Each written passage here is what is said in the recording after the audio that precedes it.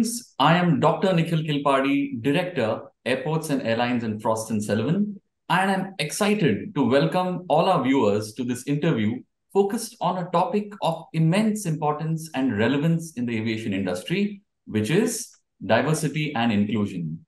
Diversity extends beyond the visible differences such as race, gender, or ethnicity, but rather encompasses a wide range of backgrounds, beliefs, and perspectives. Inclusion, on the other hand, ensures that every individual feels valued, respected, and is given the right opportunities regardless of their differences. The intersection of these ideals is where we create a more empowering world for all. Our speakers today are trailblazers and leaders in the aviation industry and bring in their unique experiences and insight on this subject. Let me begin by welcoming our first eminent guest and speaker. Uh, I welcome Dr. Engineer Suaad. Thank you, Doctor. Uh, good afternoon, everyone, and thank you for having me today in a very important topic, and hopefully it will, will go smoothly. Thank you.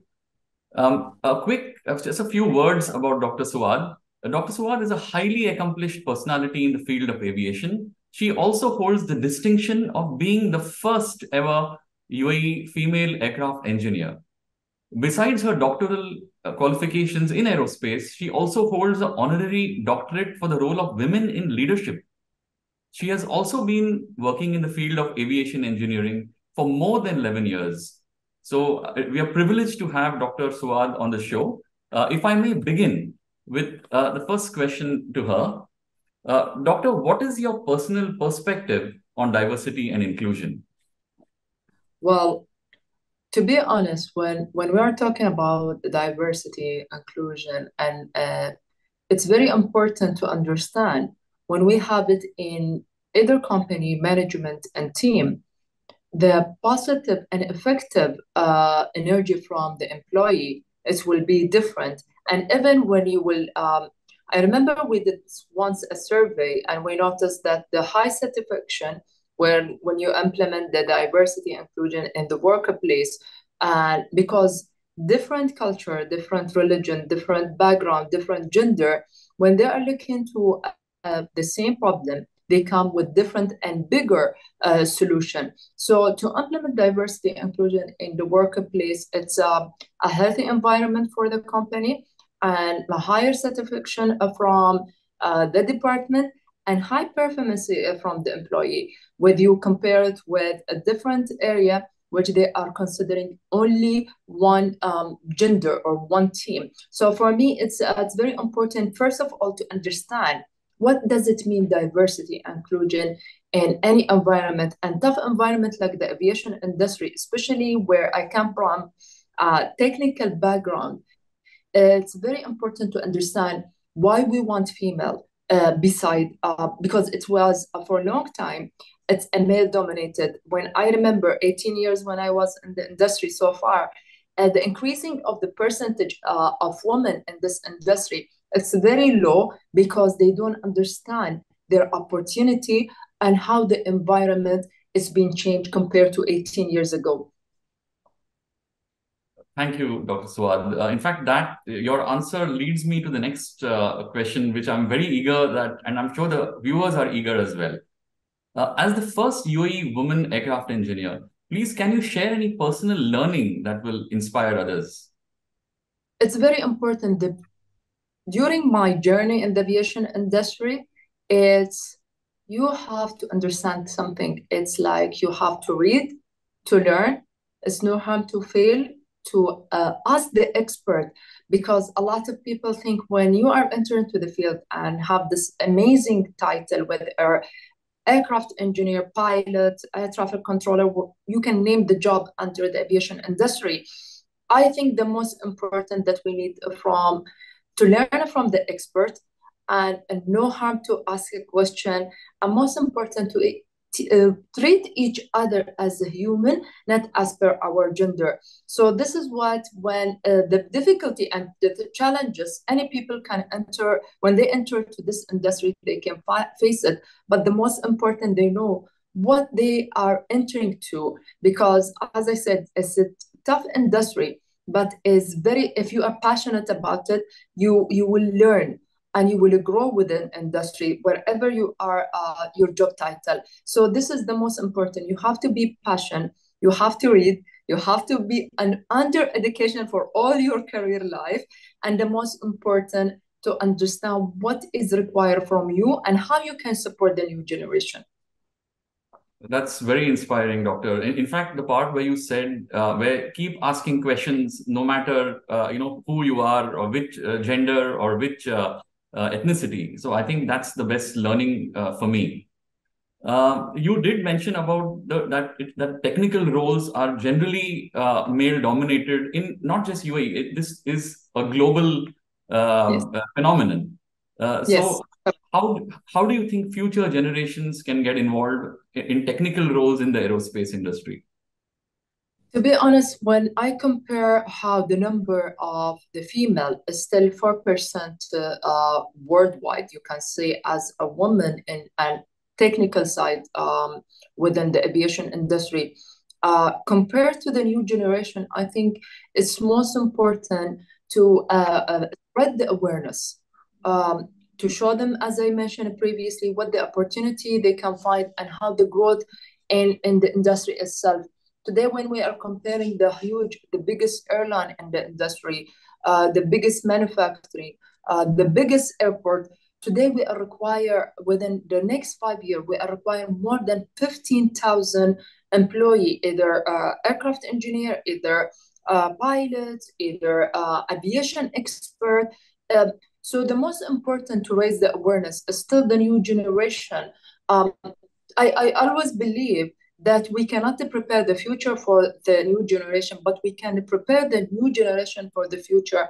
So I think with the workshop, with the training, with an internship program, um, today we can see a lot of airline they came back after COVID to uh, put the uh, cadet pilots uh, um, aircraft engineer program, many program it came back after COVID. So it's most important to show the new generation what they can get. And the most important, as I said, it's raised as an expert raise the awareness and how they can grow in, in this industry.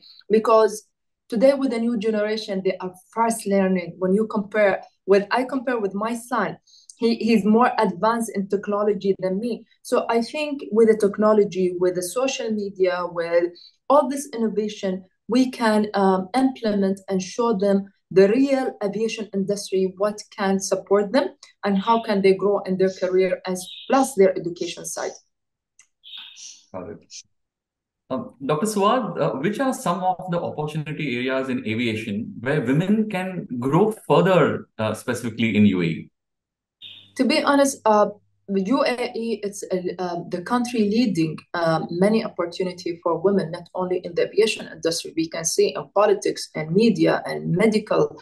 If I will name all the major, all the industry, we can find that a lot of women they are as a leader. Uh, I think uh, for her uh, to be in the aviation industry, um, any any career she can choose, any major under the aviation industry. I think today we want to show the woman that if, if she can uh, be in the industry as a pilot, as um, aircraft engineer, she can raise a family. She can be a management a manager in a management uh, field.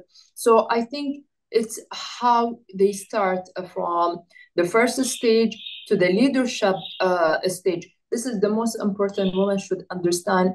And they should understand that the environment itself of the aviation industry uh, compared to another industry is different. Where, where I come from, you will not sit directly in the office. You will not be directly um, as a manager. They should understand what they choose, what their opportunity, how they will grow uh, uh, within uh, this career.